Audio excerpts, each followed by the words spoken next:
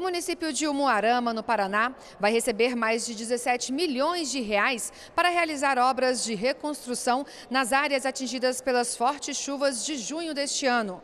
A autorização para o repasse dos recursos foi publicada pelo Ministério da Integração Nacional no Diário Oficial da União de hoje. A liberação da verba será feita em três parcelas, considerando o volume e a natureza das ações a serem implementadas. O prazo para a execução das obras é de um ano a partir de hoje. De Brasília, Luana Karen.